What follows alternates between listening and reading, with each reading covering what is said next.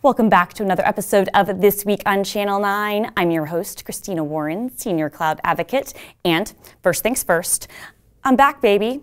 That's right. I know, I know. It's been like two months since my last episode, which is entirely my fault, but I am back, and some travel plans that might make recording a little bit difficult notwithstanding, I'm fully committed to getting the show back on track. And I've missed you guys, and I appreciate the emails and the Instagram messages.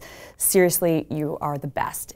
All right, well, enough of all that. Let's get into this week's latest developer news. So, first up, just a reminder that it is now Microsoft Ignite, the tour season. And so, I actually just got back from the Johannesburg tour stop, and I will be in Sydney next week. But we've got stops all over the globe where we'll be showing off the latest technical content for developers and IT pros. And so, check out the link in the show notes and the description for all the details. And if you see me, I will be in Sydney and Singapore next. Please say hello.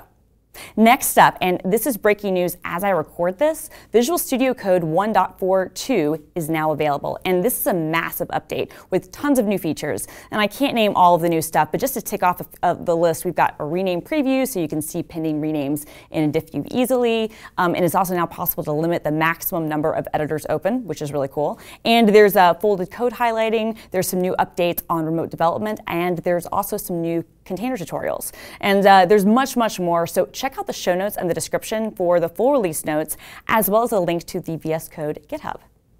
Next up, Visual Studio for Mac 8.5 Preview 2 is now available, and it has some really great new features, including a bunch of enhancements for Xamarin for Android and XAML authentication templates for ASP.NET core projects, as well as support for macOS high contrast mode. And so I've got a link in the show notes in the description to the blog post, which outlines those changes, as well as another post, which is highlighting some of those uh, uh, new features just for Xamarin devs.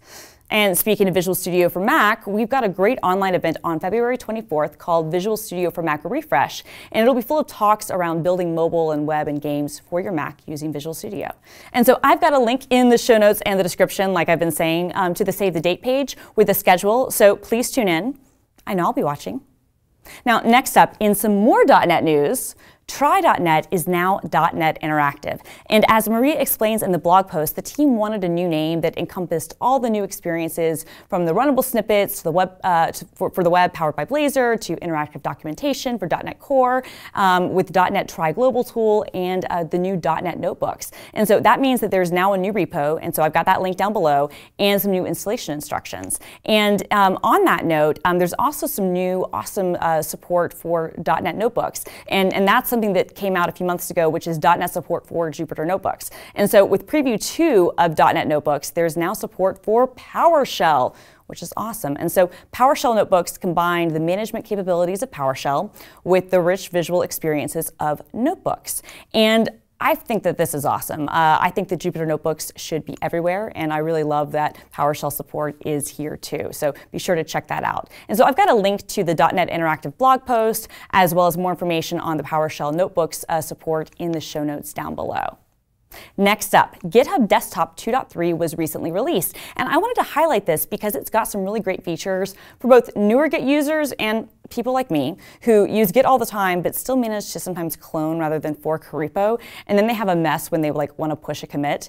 And so this new feature uh, means that when you're trying to push to a branch, uh, but you because you cloned it instead of forking it, GitHub's like you don't have access to do this. And now GitHub will ask you if you want to make a fork and then port all your work over. And so that's awesome. And one of the new things it also has is for people who, again, like me, sometimes forget to start working on a new branch and you wind up working on a protected branch and all your work is now unable to kind of push out, you can now move those uh, commits to a new branch without interruption. And so this is really great stuff. And so I've got links to the announcement and the GitHub desktop download in the show notes and the description down below.